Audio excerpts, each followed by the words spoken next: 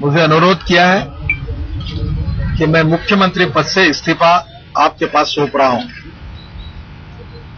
सदानंद जी ने उनके कार्यकाल में कर्नाटक में बहुत अच्छा कार्य किया। हमारे सरकार का बहुत अच्छा परफॉर्मेंस रहा है। उनके खिलाफ किसी प्रकार की कोई भ्रष्टाचार और अन्य विषय पर किसी प्रकार की तकरार भी नहीं है। पर पार्टी का हित ध्यान में लेते हुए एक अच्छे कार्यकर्ता के रूप में उन्होंने संगठन के हित में अपने इस्तीफा मुझे उन्होंने दे, देकर उन्होंने पार्टी के एक अच्छे कार्यकर्ताओं का परिचय दिया है। उनका इस्तीफा पार्टी ने स्वीकार किया है। कल हमारे राष्ट्रीय नेतृत्व में कर्नाटक के बारे में चर्चा हुई है। और इसलिए उनका इस्तीफा मैंने स्वीकार किया है।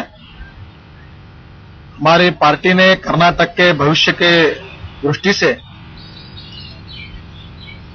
हमारे वहाँ के पार्टी के नेता श्री जगदीश शेट्टियार शेट्टार, इनको पार्टी ने कर्नाटक का नेतृत्व देने का तय किया है।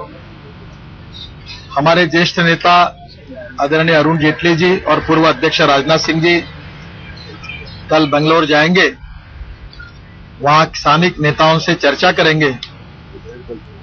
विधायक दल की बैठक भी होगी, उनके साथ भी चर्चा करेंगे। और उसके बाद वहाँ स्थानिक नेताओं से चर्चा करेंगे। विधायक दल की बैठक भी होगी, उनके भी साथ भी चर्चा करेंगे। और उसके बाद गवर्नर को हमारे वर्तमान मुख्यमंत्री सदानंद जी और जो नेता जिसका चयन होगा, वो जगदीश शेट्टार जी, ये गवर्नर साहब को मिलेंगे। श्री सदानंद गौड़ा, इन्होंने कर्नाटक में 11 महीने के कार्यकाल में बहुत अच्छा कार्य किया है। इसके पहले वो पार्टी के अध्यक्ष करके भी उन्होंने अच्छा कार्य किया है।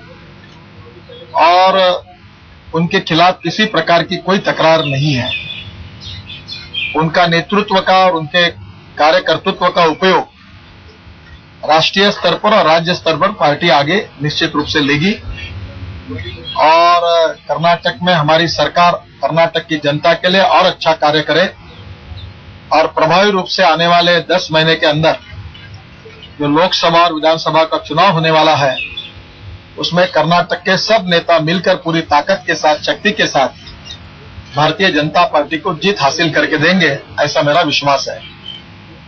मैं फिर से एक बार सदानंद जी ने जो बहुत ही पार्टी के हित में एक कार्यकर्ता के रूप में अच्छी, बड़ी समझदारी से जो भूमिका ली है उसलिए उनको बहुत बहुत धन्यवाद देता हूँ।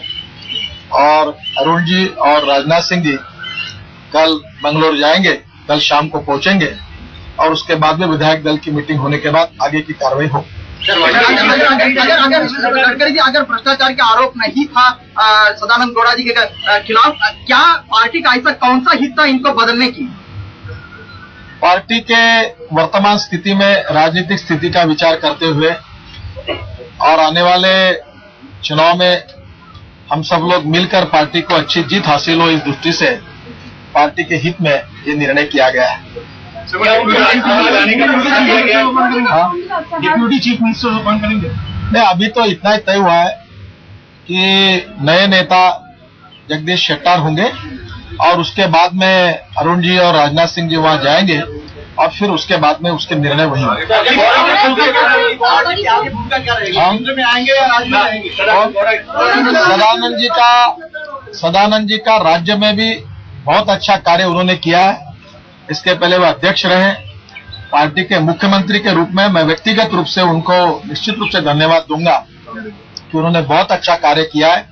राज्य स्तर पर और राष्ट्रीय स्तर पर दोनों जगह पर उनके नेतृत्व का हम पूरा उपयोग बहुत बहुत धन्यवाद। राज्यसभा में लाने का भरोसा दिया गया